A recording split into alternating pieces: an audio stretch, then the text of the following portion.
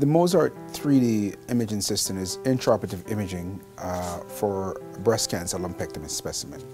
That means when we remove breast cancer, and we have to take images of that for a number of reasons, including confirmation of removal of cancer, and to get some idea as to whether the cancer was adequately removed. The system that we have is the latest and greatest in terms of intraoperative uh, radiographic imaging the radiology technician now comes into the operating room, we hands the specimen off to them. They put that and they take images of this, um, several images of this, and, and here they're taking 3D images. Those images are immediately forwarded to the radiologist. So I have the benefit of looking at those images in real time myself, but I also have the benefit of the expertise of my radiology colleague.